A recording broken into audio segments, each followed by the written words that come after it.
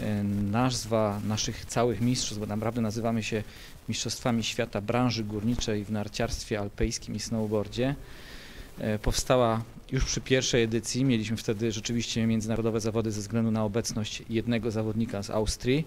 Tak też zostało. Piąta edycja odbędzie się w ośrodku narciarskim Czorsztynski e, Kluszkowce. To troszkę inne miejsce niż dotychczas. Wcześniej byliśmy e, w, e, na stokach Słotwiny. E, Miejsce zmieniliśmy ze względu na to, że cieszy się nasza impreza coraz większym zainteresowaniem, coraz więcej gości z naszej branży przyjeżdża, a więc e, trasy muszą być bardziej wydajne. Chcemy też urozmaicać nasze zawody. W tym roku e, dołączamy do slalomu giganta slalom specjalny. Będą dwie dyscypliny. Czasy poszczególnych konkurencji będą łączone. No i mamy zamiar wprowadzić również e, nowe kategorie wiekowe, jak również kategorie związane z przynależnością może i zawodową i, i też będzie na pewno kategoria żona górnika.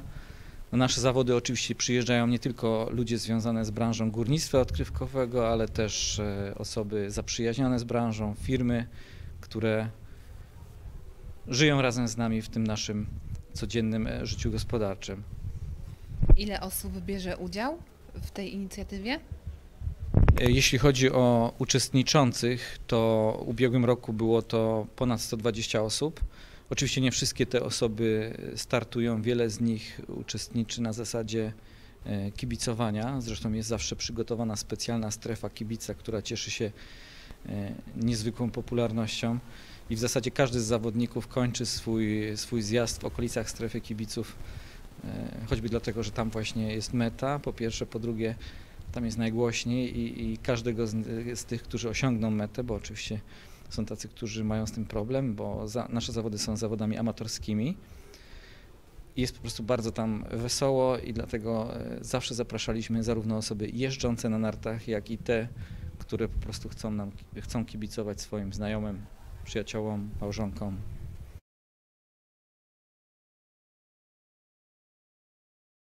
Dlatego, że piąta edycja mistrzostw myślę, że będzie jeszcze większa frekwencja. E, Na pewno stok, na którym będą, odbędą się zawody, jest jeszcze ciekawszym miejscem, jeżeli chodzi o, o wyzwanie dla, dla narciarzy. Dwie konkurencje. Pierwszego dnia, czyli w piątek 28, e, wspólny trening, jak również wieczorem kulik góralski, taki typowy. Następnego dnia w sobotę 29, bo rok przestępny mamy, 29 lutego e, będą same zawody. Spodziewamy się dość sporej frekwencji, więc e, zawody pot- potrwają prawdopodobnie cały dzień. Wieczorem e, uroczyste ogłoszenie wyników i wspólne zakończenie e, zmagań sportowych, czyli wesoła impreza. Następnie w niedzielę jest to czas na odpoczynek i, i powrót do domu.